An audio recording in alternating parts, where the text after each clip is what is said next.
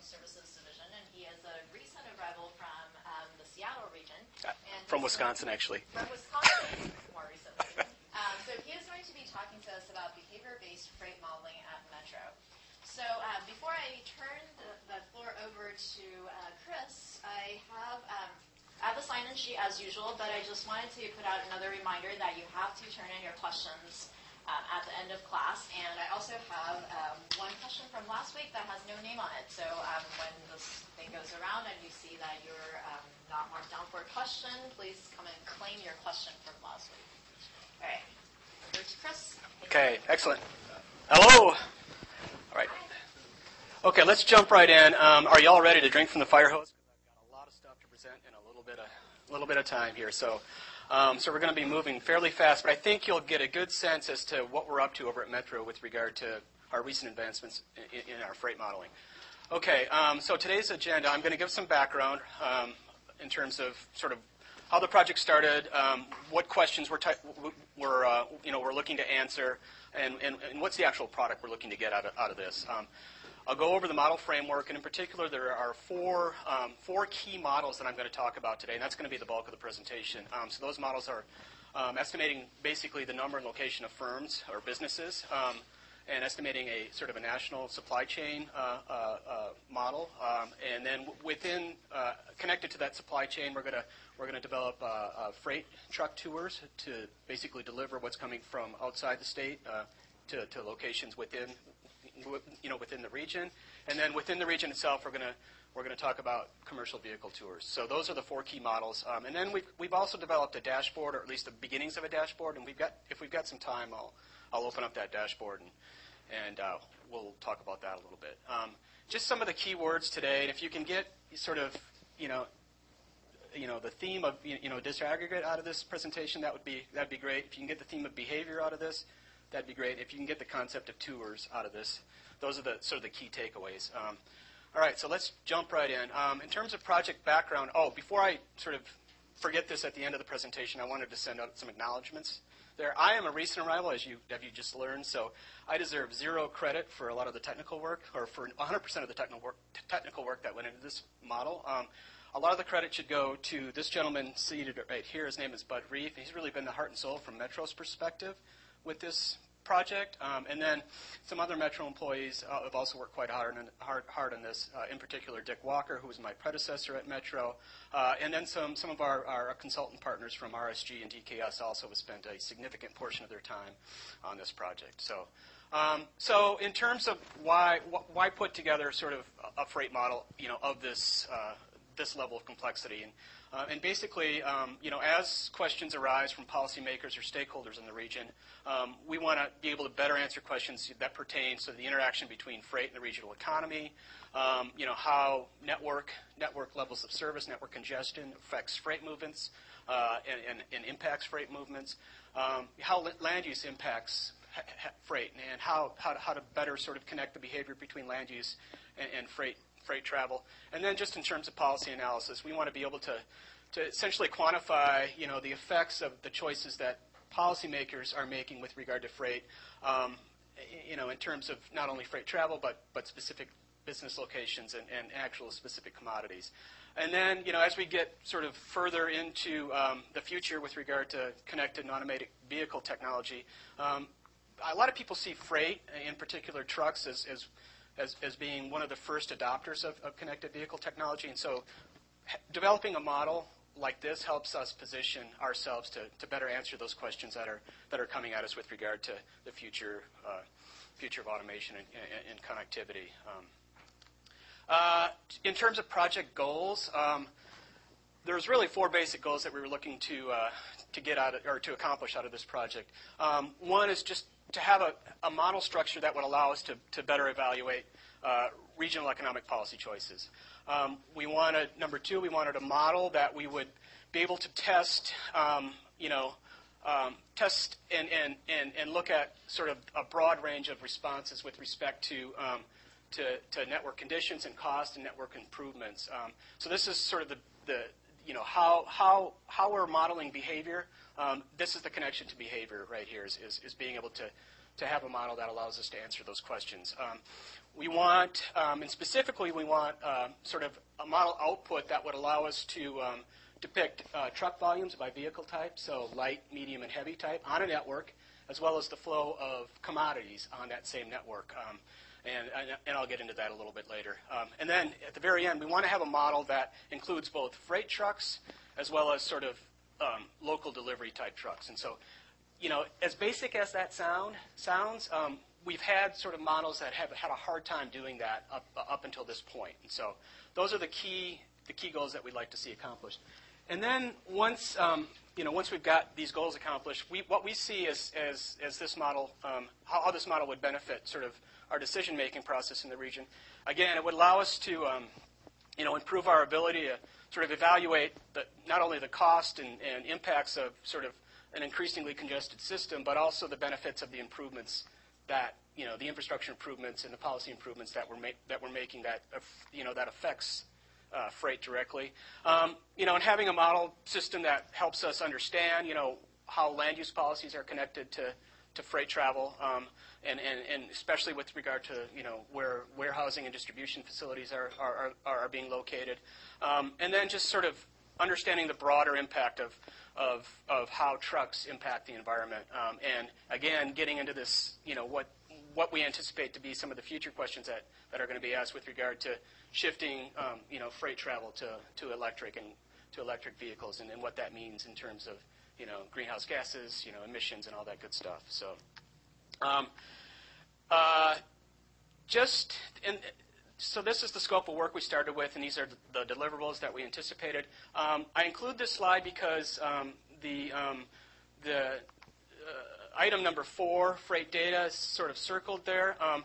A huge component of this project was to go out and collect data. Um, I'm not going to get into that today. That would probably take another, you know, 40-minute session. Um, so sometime in the future we may discuss that. But I wanted to highlight that a huge chunk of this project was was a, a big data collection effort. Um, um, and this is just the project budget and schedule. This project was funded uh, from a lot of, you know, from a federal partnership. Um, that's the SHRP 2 C20 program. Uh, so they they provided a, a, good chunk of cash for this project. That was $350,000. The Metro funding there, so the second bullet point, really is what paid for the freight data. And so this is what I was talking about. A, a large, uh, a large amount of data collection went into, you know, estimating and, and informing the types of models that we, you know, that we uh, estimated here. Um, and then um, just, a, just another schedule highlight. Uh, officially, the contract ended just a few days ago, um, and so this model um, that I'm going to be talking about today, or this model system that I'm going to be talking about today, is very, very sort of fresh and, and new. And so we're still we're still kicking the tires. You know, we've got the hood open. We're still poking around, and so we're still getting used to it. Um, all right, and in the end, what we're you know what the outcome we expect is is what we're calling a new sort of hybrid freight model. So it's a model that's you know, that's accounting for, you know, broader sort of freight travel, sort of coming from, again, outside of the state and the region into this region, into the Portland region, as well as local truck tours, so local deliveries and, and, and, and um, um, service, service calls and, and, all that type of thing. So uh, sort of a full accounting for all sort of the truck travel. And that's really, that's really where the hybrid, the term hybrid come from, comes from.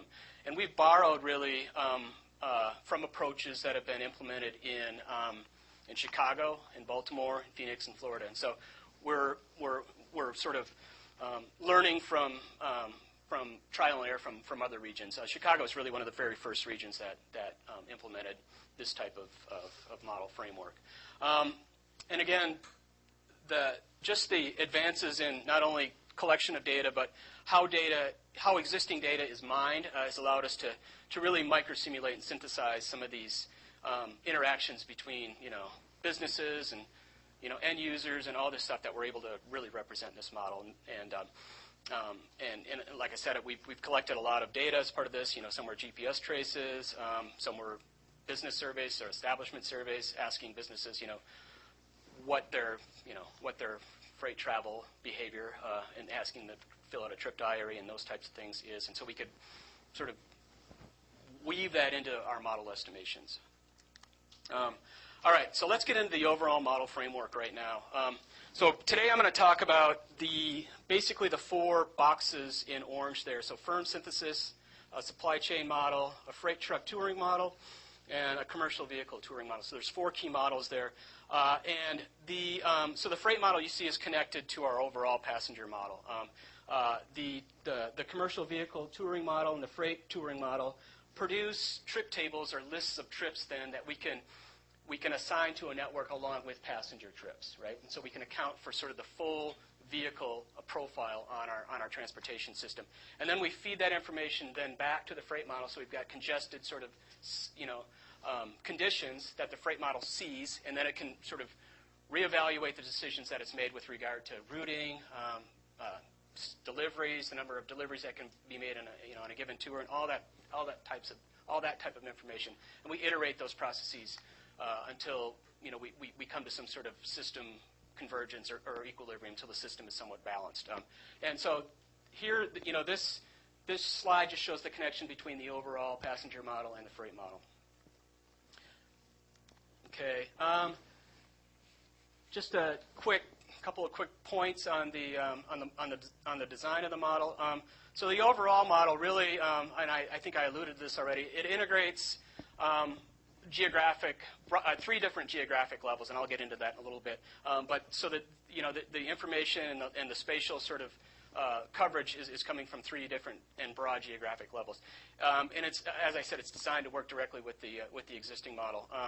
And uh, again, just in terms of what we're doing within, uh, within each one of these sort of four submodels, um, the firm synthesis model is just um, we're estimating a, a set of businesses, um, both uh, in the region um, as well as outside the region, that, that connect and, and, and trade and, and, and uh, buy and sell things to one another. Um, and then the supply, supply chain model is really the, the, the, model that sort of uh, that, that estimates those relationships uh, between businesses in the region and outside of the outside of the state and outside of the region.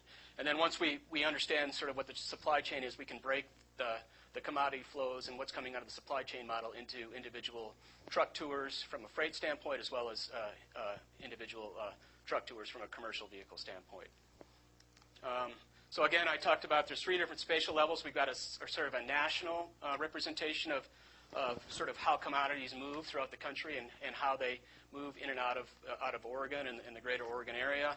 Uh, and we've got and so the Greater Oregon area for for our for the purposes of this model is um, is Oregon, is Washington, and Idaho.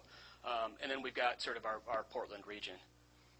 So this is this is a this is a slide, or a map showing sort of all three of those spatial geographies.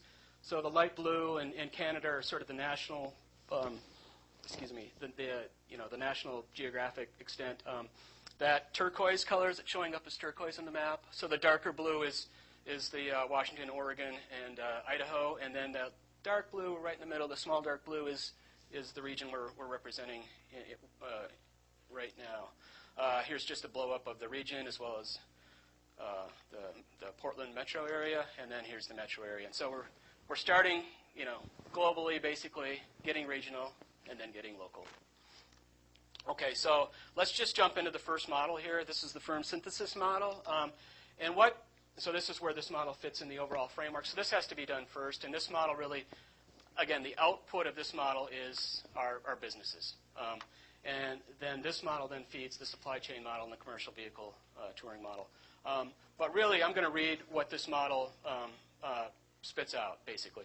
It spits out a list of business establishments uh, with location by TAZ, by county, and by, by broader national zone. Um, uh, industry by sort of uh, classification code. I'm not going to uh, list out all these acronyms. And our own categories.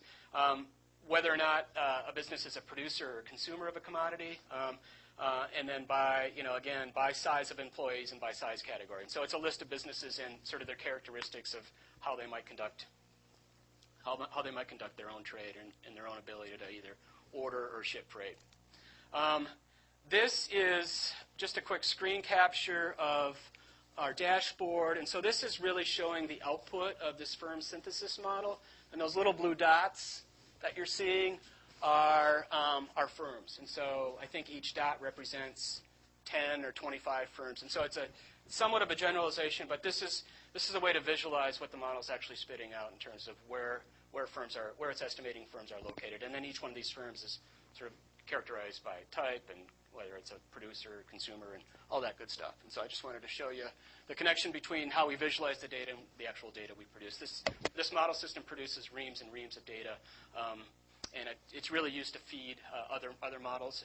But you know, we wanted to take advantage of all this data in terms of um, being better able to communicate what the model is predicting. And so, so this is just one example of, of what the dashboard is is outputting. Um, so let's just jump into the supply chain model really quick.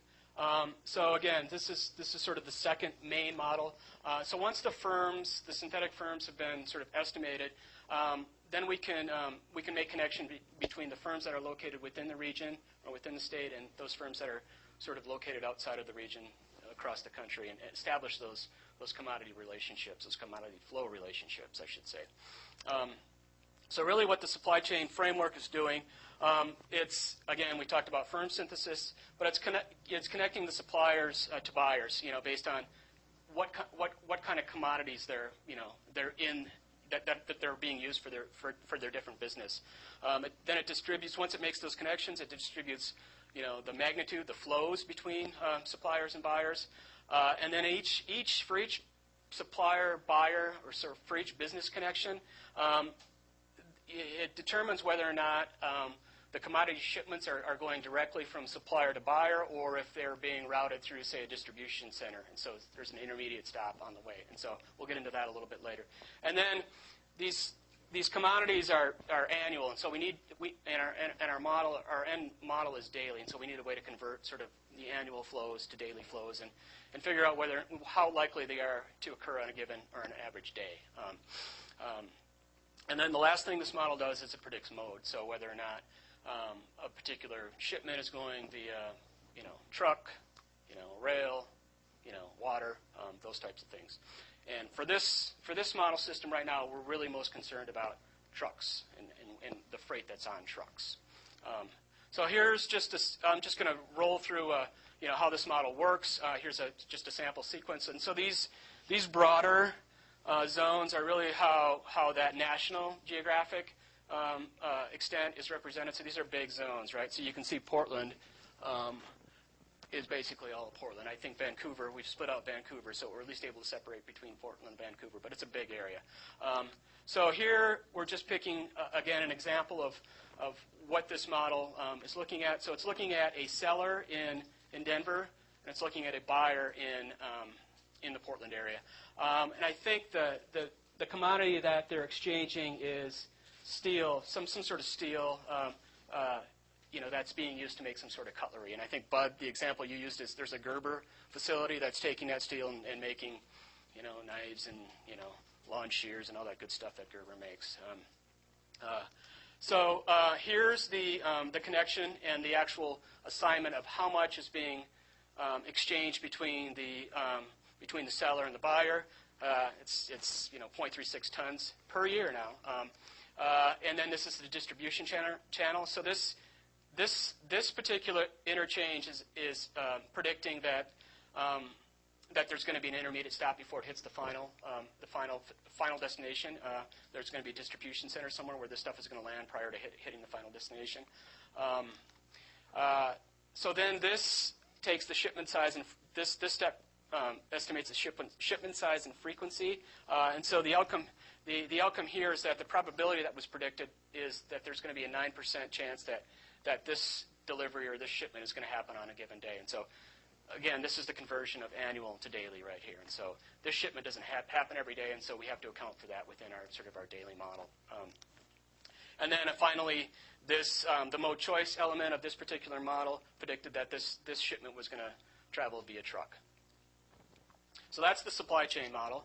Um, and now we need to take those, those commodity flows and convert them. Once we get them into the region, we can need to convert them to truck trips. So this is the third out of the four models that I'm going to talk about today. Um, okay. So, um, so for the truck touring model, um, so again, I, I, mentioned that we're taking uh, a daily sample from all shipments either to, from, or actually within, that are occurring within the metropolitan region. So those shipments that are that have both an origin and a destination within the region. Um, and so this truck touring model basically sim- simulates the truck, the, just the truck portion of these shipments. Um, um, uh, so for for you know for shipments that are co- either uh, coming in from outside or going to the outside of the region, we assume those trips are going to go directly sort of to external stations via truck alone. Um, those shipments that um, that are within um, w- uh, entirely within the model region are going to go from business to business. And for those tr- those more complex trip interchanges that involve, say, a distribution center, um, you know, um, we'll get into that, and that's really where the touring, the truck freight touring model comes in into play. And so this these are the nine steps that comprise the, the, the freight truck touring model. And once I get into the commercial vehicle touring model, this is going to look very, very similar, and I'll just sort of give that as a heads up. But again, we're number one, we're estimating the truck sh- shipments, and that's really coming from the supply chain model. Um, we're, we're, we're taking those annual amounts and we're converting them into sort of a daily figure so we can, um, we can apply those to our daily models. Uh, we're identifying ports of entry, and so whether if they're coming in you know, via, via truck, uh, uh, we're, we're basically assigning those to external points in our sort of that local or that regional uh, geographic area that we're modeling. If they're coming in via rail or via you know ship, we're, we're actually uh, we've got we've got ports or rail yards that are that are representing those locations. Uh, we're um, we're predicting uh, both vehicle choice, so whether or not these truck shipments are going to occur, uh, you know, on light trucks, on medium trucks, on big trucks, heavy trucks. Uh, we're estimating sort of um, a tour, so so a, a series of trip segments that will comprise sort of a or be organized logically in terms of, um, of how these shipments are going to be delivered either to, to warehouses or their final destination. Uh, and there's all sorts of sort of logistical um, elements to this model. It's, it's the clustering of stops. It's the scheduling of, of, of the first stop, uh, you know, in a tour. It's, it's sequencing the stops, so the routing sequence. If you've got three stops in a tour, you know, what, what's, the, what's the most optimal sequence for those, for those routes? Uh, and then at the very end, it's, it's going to try to predict whether or not there, is, there are additional stops occurring either um, just before, um, you know, a truck returns from its tour to, to refuel or to, to stop for a meal or, or, or something of that nature. And then, um, and then it'll actually locate where that last where that last stop might be. And so, I've got some some depictions, some images here that help um, that might help convey what we're trying to do here with this model. Um, and so the orange arrows are what we call external stations. And so those are, you know, those are, you know, typically your I-5s, your I-84s. Those are those big, you know, freight corridors that are that are um, that are on the, um, you know, that are, um, you know, that are external points of entry for for um, surface for truck travel within the region. And then we've got some of these other icons. Oh, I, I neglected to mention air. Air, air, air freight's a it's a big component of, of, of, freight coming in from outside the region. Um, and so we've got all these points of entry, um, uh, and we've got to figure out how much of this external sort of these commodities, where they're coming in, how much is coming in, and then connecting that to sort of the final destination. So this is really the, the start of of how to how, how, how to estimate that. Um, so once we know um, essentially which which ports, ports of entry are receiving which shipments, then we can start to assign um, uh, those shipments to vehicle types. Um, so again, whether or not um, um, you know different industries may utilize different vehicles differently, and so we're trying to account for that as best we can. So again, we're trying to um, estimate which which you know which vehicles are going to carry which commodities, um, and then assign a, a, a, a corresponding tour pattern to those to those trips and to those tours. Um, so here we've got again a continuation of the vehicle choice and tour pattern step. Um, this is a, uh, uh, a shipment that came in via ship, and the final destination is the little greenhouse there. And so this is what's considered a direct shipment. So the the, the truck is going to travel back and forth from the ship to the to the little greenhouse there, and then and then back again empty. And so that's a representation of a fairly fairly simple freight truck tour right there. Um, here you've got some some more complex tours, and so the red um, the red houses are intended to be um, distribution centers, and so those so a, a, commodity can come in via ship, um, and then uh, then that uh, commodity needs to be delivered to an intermediate place, which is a distribution center. And so this model also sort of, th- this tour pattern model also um, takes into account those, those intermediate distribution centers. And so some of these, some of these distribution centers, um, you know, need more than one truck trip, uh, or some of these shipments need more than one truck trip to, to basically unload the entire shipment. And so, um, so there's a there's a circuitousness for some of these distribution centers with respect to where the original shipment came in via, in this case, uh, a ship. Um, um, so here's the stop clustering model. Um, so again, um, for those um, shipments that went to a distribution center, and again, we're still talking freight here, um, uh, we've got a model that would cluster similar stops together. And so the likelihood of, of these stops being um, um, uh, part of the same tour is much higher. And so um, we, can, we can start to organize some of these stops you know, and look toward what, what a tour might look like, what, a, what an optimal tour like, might look like. And so, um, so these are some, some stops that are being clustered. Um, and so here's the next step in this model, which actually takes those clusters of stops and then it sequences them. And so it, it puts, it assigns an order to them. Um, um, so the arrows are meant to convey the directionality of the tour. And so um, um, that first, let's see. So this would be for that for those the tour represented by kind of the orange, the orange arrows there. This would be the first stop on that tour. We should have probably numbered those. That's um, yeah, we'll do that next time. So that's what that's what this particular part of the model is doing. It's it's assigning a sequence to each one of these um, each one of these stops in a tour. Um, uh, and then the next step, it actually assigns an arrival time to that first stop. And so, um, so that first stop that I just pointed at, the, the predicted arrival time is going to be 8:30 um, a.m. in the morning. So that's really the first stop on that tour. Um, and then just moving ahead, and this is the intermediate stop. I talked about this. Um, so, um, so just backing up a little bit, that that real simple tour uh, in the middle, which just involves basically one stop from the distribution center and back. This this model has the ability to predict whether or not another an intermediate stop might occur on that tour, and so. Um, in this case, it did predict that an intermediate stop did occur, and so it inserts another stop there, uh, and that stop is for uh, a meal or a break or something like that. Um, and you know, there's there's there's all sorts of details in terms of how these stops are are are um, are identified and predicted, um, and uh, we can we can get into that on another day. But I just wanted to give you just an overall flavor of what's going on here and what we're trying to predict and what we're trying to convey and and um, and estimate here. Um, so here's the intermediate stop uh, model again. So it predicted that stop would have an arrival of 11:45 um, a.m. and then a departure of 12:20, and then back to the original distribution center at 12:45. Um, okay, so that's the freight truck tour model, FTTM.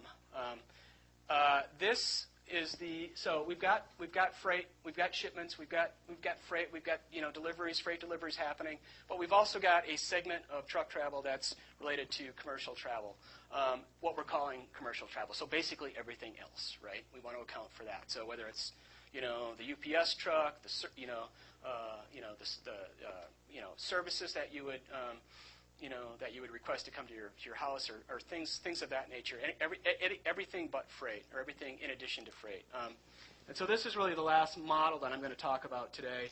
Um, so and again, this is the commercial vehicle tour model. Again, another tour model. We're going to have you know. Um, tours that are, cons- that are going to consist of multiple stops. Those stops are going to be optimized. They're going to be ordered. They're going to be sequenced.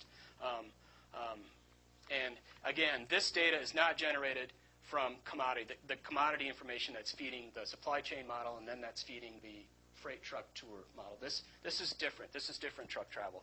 Um, so we're characterizing this as you know, infrequent demand by individual customers. Many of those customers are actually private residences. The freight truck tour model, um, the destinations or the origins are all either, they're basically all businesses. There is no sort of residential based travel in that model. Um, uh, and then again, destinations with no firm residence are, are common in this model, whether they're um, you know, road construction sites, parks, schools, those types of things. Um, and again, um, uh, this, you know, this type of travel um, is just different from, you know, from, from freight travel. Um, and again, we're going to we're to try to look at intermediate stops as part of this model, and sort of pick up, drop off, those types of activities also are, are part of this model.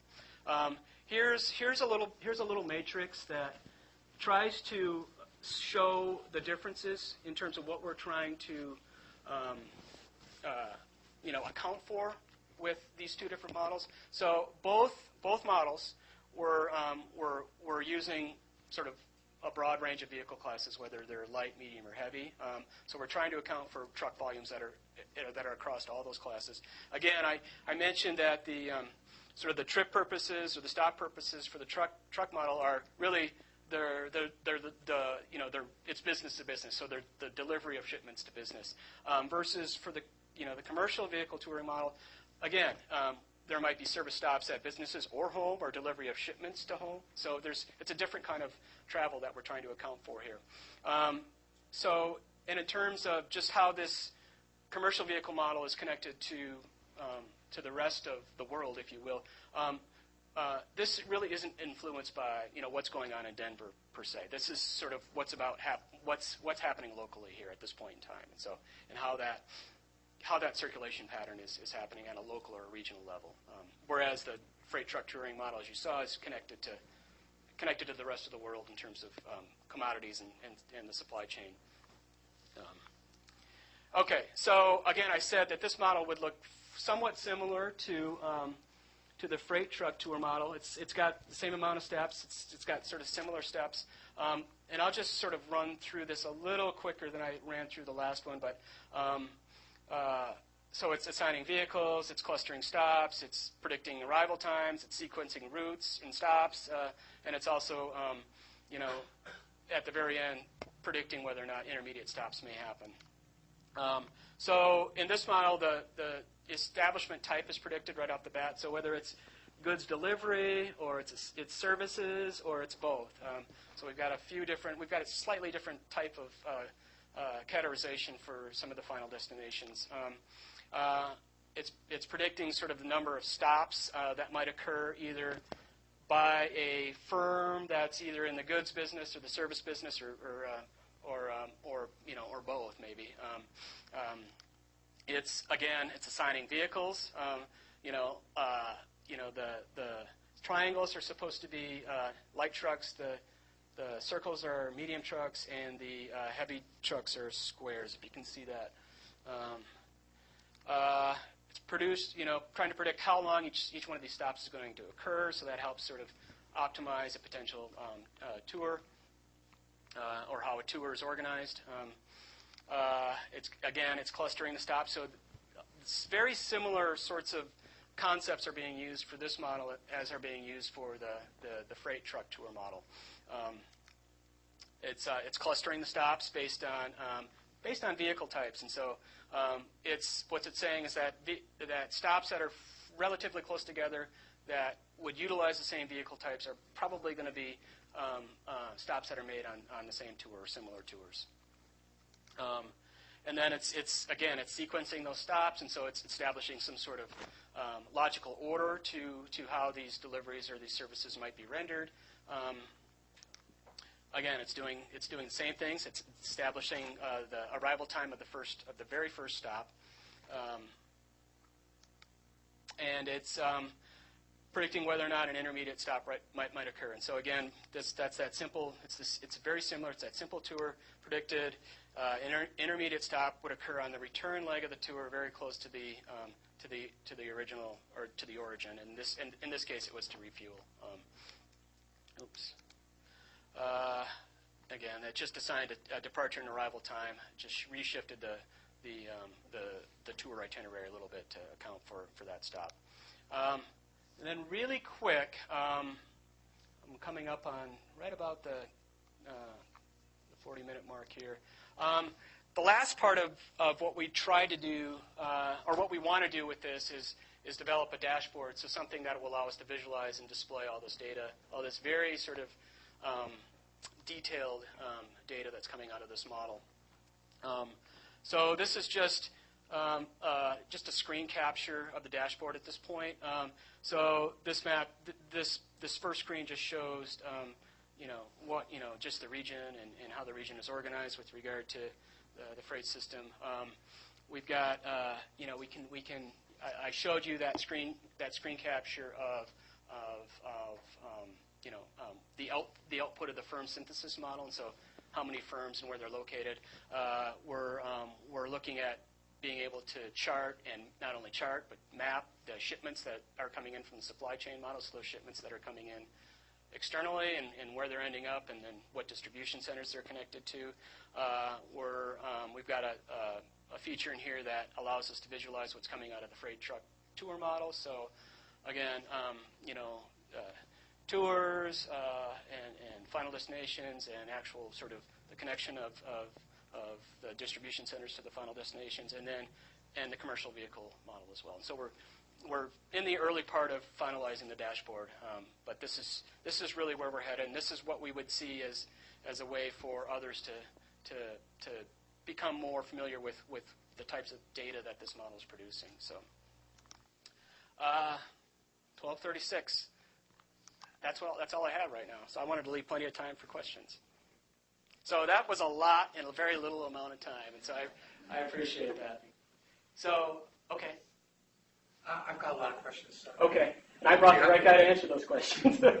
um, and um, I've been watching the industry, the practice for a while, and made great advances. But I just wanted to know a few things. Do um, how do you account for empties?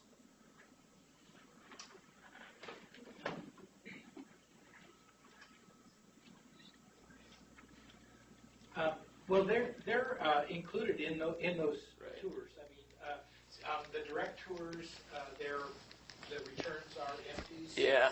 And, uh, and actually, this is a great improvement, I think, over what we do with our trip, you know, with the older trip-based uh, commodity flow models, because it was assumed that every trip out was loaded, and every trip, and then each each one of those trucks went directly back empty, uh, which was a wrong assumption. Or, it's not consistent with, with realities. And uh, cost variables that you use? Um, the well, uh, in terms of the like freight mode choice, uh, there we have each of the networks, and each each of the um, each of the mode networks have a cost function associated with a, with per mile travel, and that can be that can be varied over time. Uh, if you get, for example, more autonomous uh, truck vehicles, uh, that, that's going to lower costs, certainly driver costs and, and shorten times as well. Sure. So for both models, like the business and the uh, tour, um, you have like considered a lot of uh, stuff period of time, like for refueling or meals or mm-hmm. etc. Is there any consideration for uh, like traffic problem, rush hours. Yes, um, uh, absolutely. That's a, like severe weather, kind of uh, time delay, especially for example, so, during winter. So this, uh, back up a few here. So the connection.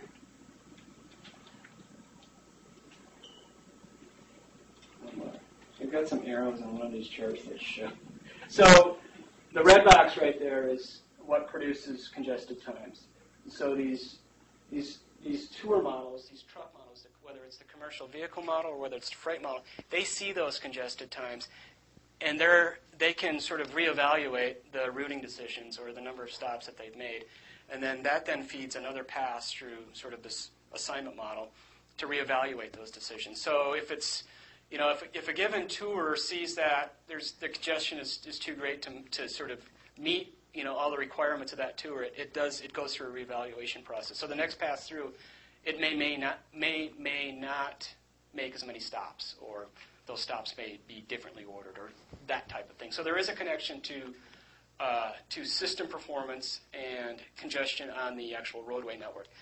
Weather events, you know, those are a little harder to predict, right? And so. Um, so not so much, not in this model framework right now. Um, and I don't think you'd find um, sort of a a regional demand model that, that has any sort of weather prediction um, uh, feature associated with it. Um, now you can run that as a scenario, um, you know, how you might, um, you know, uh, uh, you know, characterize or, or estimate or, or um, uh, you know, h- and how that might influence how, how really, you know, how that might influence sort of, uh, uh, you know, truck tours and, and truck trip making. So.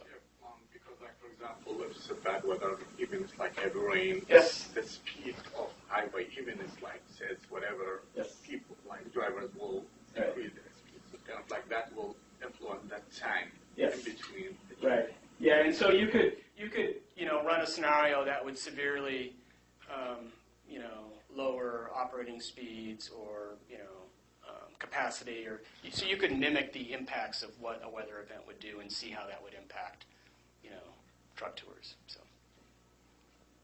sure. Frank Hostler, um, how often do you address the dashboard? What's the time frame? Do you, do you, Yeah. Is that, is that the, is that the, the big meeting? Uh, well, um, so the, the dashboard is, like I said, it's still under development. Um, um, it's one of the final deliverables. The model at this point, having you know a robust, sort of validated and final model, is really sort of the priority right now. Um, Bud can probably help answer sort of where we are or um, where the sort of the where we see the dashboard fitting in um, at the very end. Yeah, and I think it has both, um, there, there's some annual elements, like there's annual commodity flows, and then uh, when it's producing uh, daily shipments, it's doing kind of a Monte Carlo um, simulation that's drawing from those probabilities of a, of a, of a uh, shipment occurring on any particular day. So when it gets into things like the depicting truck tours and, and so forth, those are daily. But, but any of the commodity flow information is annual. Right behind you, Cliff. Could you uh, talk to kind of how you've gone about validating the model and like if you've worked with freight companies or worked with Yes. import export and, and kind of how that that was developed maybe on the inside and then tweaking it to make it perform realistically? I'll, I'll defer to Bud. That was that's a sort of the, in that data realm that I sort of really glossed over. uh, but that's like I said, a whole other presentation. But I'll, I'll let Bud try to answer that. One, the validation is still to come, really, but uh, the uh, the thing that enables these models is having this disaggregate data, and we and we really have that for I think for the first time now with um, w- well with those three sources that were mentioned there, but uh, the uh, the truck surveys. Uh, where where we're getting information about the businesses and then actually getting truck itineraries, uh, and then we also have the GPS data where we don't have as much information about what's being carried in the trucks, but we do have very detailed information about each each stop that the trucks make, and so we can combine that with other data. Um, but you know, the, the final validation of the model, we, we we may not necessarily be able to validate that a particular uh, tour is occurring, but we can look at things like, okay, how does this compare to the average tour length? How does this compare to the average tour. Uh, uh, travel travel time and uh, times of day and things like that? So there'll be a lot of validation measures that will be applied. Um, so as I understood it, this is sort of like an annual model where you collect aggregate data over many years and then generate reports, either annual reports or daily reports based on that simulated data.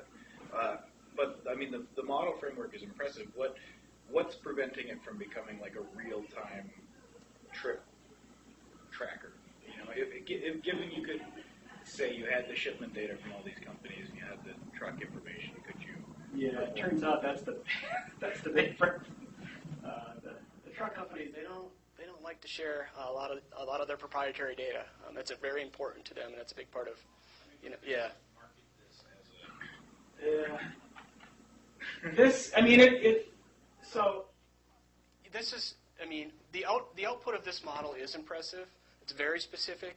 It is a list of trips that you know we're predicting that each truck would make in the region where they're going to stop. So that's, but this still is a planning model, right? And so you, you use this in a planning context, um, and so to evaluate, um, you know, different scenarios and what those different scenarios might mean in terms of, of you know, whether or not a particular investment either, you know, uh, you know, um, pays itself or pays it, you know, pays itself off, or you know, or, or just evaluate different sort of investment strategies. I don't know, Bud, if you've got anything else to add to that. It's just. Um, I was thinking like effect on the road networks and on the city. You can see where trips are coming from, where the Right. traffic is, all that kind of stuff. I mean, it's a useful model. So if you could, you know, extend it further from being an annual aggregate data report. Well, just the supply chain component is, is the annual stuff. The commercial vehicle stuff is still a, a daily. That's a daily model, um, or an average day, right? You know, um, um, but um, you know, we get that commodity flow information from a from a national source, and that's really where that comes from, and that comes in a in an annual context, right? And so, um, so we need to get that to a point where we can, uh, you know, we can account for it on a daily um, level within with uh, I don't know if that's ever the goal. With uh, you know, when you say real time, I think collecting real time information is different from, you know, you know, from in, in, in reporting that and monitoring that data is different from sort of a model, building a model which you can use to sort of analyze different scenarios and you know conduct what if analysis. Um, I think so. There's there's still two different things. There's connections between the two, but they're still fundamentally different things, right? So. Sure. So following up on that, what kind of questions are you answering with the model? CRC versus nothing? Well, yeah. I mean, it's all the policy uh, Right. things that really Chris talked about earlier. But uh, to give you an example of another, like maybe specific question, you saw uh, on the on the title slide, you saw an electric truck which has a uh, a, a range of 124 miles without recharging.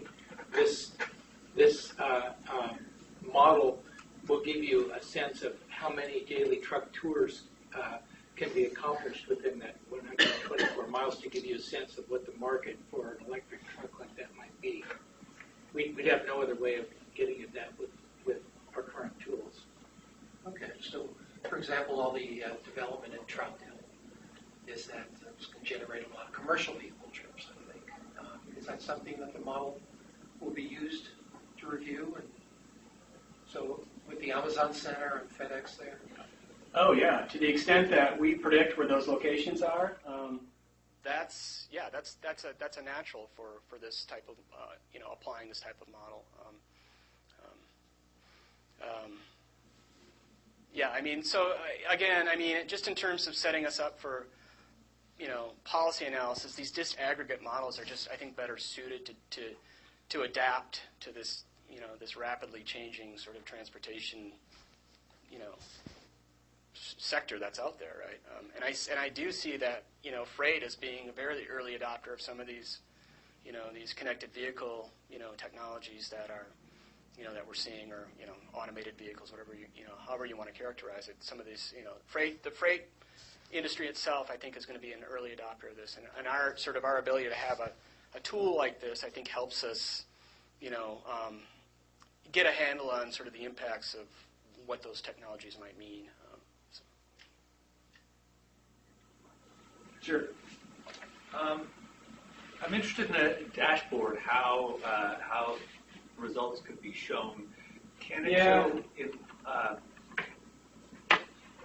one option is particular commodities or a group of interrelated commodities. It could show flows, a map of flows around the region and places where there are congestion in particular places that are a difficulty for that commodity. Yeah, at the risk of doing a live demo, um, this is this is always a little dicey, isn't it? Uh, yeah. Um, so yeah, we've again, it's it's you know we've got so this firm so the output of this firm synthesis model, we've got you know charts that show. Um, uh, let's see. Yeah, this formatting is all is all goofy now. Sorry about that. Um, but anyways, it's charts and maps, right? Um, so we've got some maps, show where firms are. Um, we're supposed to have some more options here, but they're not showing up. Um, um, annual shipments. So, um, you know, by by movement type, by size category, by um, industry category. Um, those are just shipments. We've got tonnage, which is similar, right? Um, uh, and then I think these tours are still under development. Some of these tables probably aren't going to be populated yet. Um, see if we've got some charts. Yeah, so some yeah, some of this stuff isn't isn't being cooperated right now. But um, so this dashboard is extensible too, right? So it's extendable. We can you know add continually add things that um, that people are, are asking questions about. So, um, um, but the idea is is that what we're producing is just a big database and um, and having the ability to communicate and sort of visualize what's in that database. So it's really flexible in terms of what we can show. Uh, yeah. Follow, can you show an input-output table uh, that compares commodities, like an input-output table that looks at uh, products and uh, economic dollars going through an economy? I, I would think you could do the same with commodities and Well- the interrelationship between different commodities. We could probably request that. They do use input-output tables in that, um, uh, in, in the, in the national supply chain model. I know that, that that's, that's part of it, but we, um, we haven't, you know, I guess requested anything that, uh, to go in the dashboard, but, but we, we probably could. Something's in there. Yeah. Lee? Uh, for your tour models, a different version of tour models, what, what data do you have to do the model estimation? Did you, do you ask, did a firm activity or travel diary? Uh, and then uh, going forward, uh, I think look like you, you have a one huge push to get some of this data, I suppose. And then going forward, do you have ways to update those data uh, in future years? Go ahead, Bud. Yeah, sure. Uh, well, well, yeah, you're, you're right. Uh, there were uh, diaries, and uh, uh, it relies a lot on. Uh, we rely also on this in this model. Uh, in addition to some diaries we collected in Portland, uh, on uh, some very extensive surveys done in Texas and Ohio, and they were diaries. In addition to that, though, we got um, dispatch data from some local firms where uh, they they track their own vehicles and, and were were generous in sharing that, those data with us. Uh, so we have we have a lot of uh, tour data, and I guess in the future they would just we would just have to conduct um, uh, if we really want to understand uh, what you know for a particular truck uh, the, the itinerary, what it's delivering, and everything. You have to get the, the diary. But if you just want to see the movements of the truck, you can just use. Uh, in this case, we purchased both INRIX data and eRoad data uh, which which shows the, the tracks, you know, for the for the tours, with timestamps and everything. So. Thank you. Um, it was great presentation, and I think to put it in context, um, what you guys are doing is much more sophisticated than what 99% of the other metro regions are doing regarding freight. So I think it's a great uh, you know, advance. Um, so I have two kind of very general um, questions. One is, it sounds like in terms of next steps, um, you have done a lot, but run out of budget. So just roughly, what can you comment in terms of maybe with the limited resources, what you plan to tackle or improve next? And um, the other one is, um, because this is something new, um, sometimes as you do new things, you learn a lot of things. And with the benefit of hindsight, you could say, well, if I have to do it again, I would do maybe something in a slightly different way. Um, so maybe you can comment. That's probably a better Bud question too. Uh, Um, well, in terms of lessons learned, uh, our our our uh, response rate for our uh, establishment survey was was way way below what we had hoped for, and so I think uh, the idea that most most firms are really are truly tracking their vehicles, and if there's a way that you could do uh, that you could construct a sample with that idea in mind to be able to, to go after certain types of firms and, and really uh, using their own data, but not, not sort of having to rely on, on them conducting a, a new survey. I think that's maybe something for the future.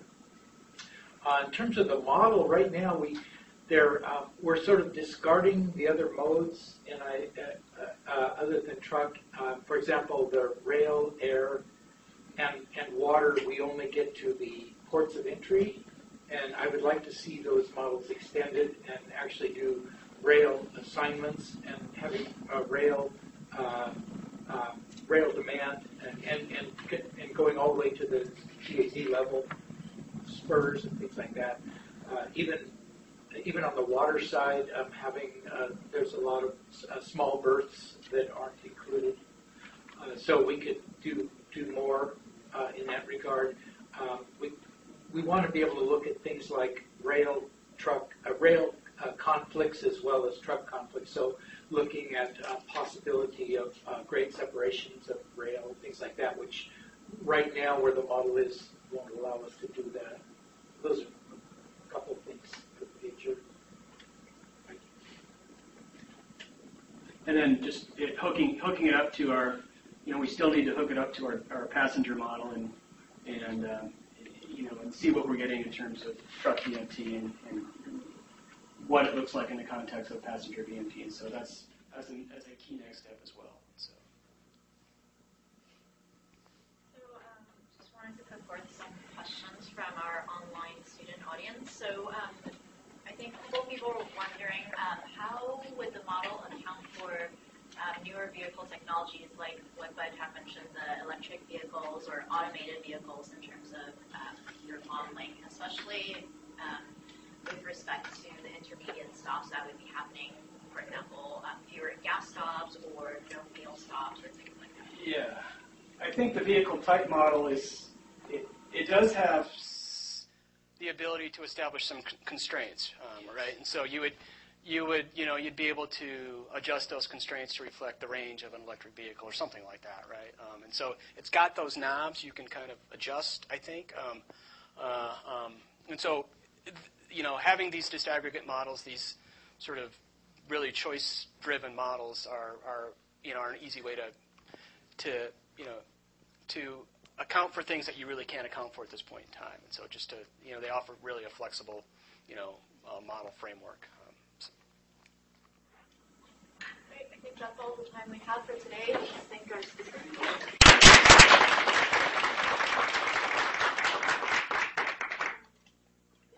back next week for um, a presentation by Jeff Brown at the University of Washington about detailing.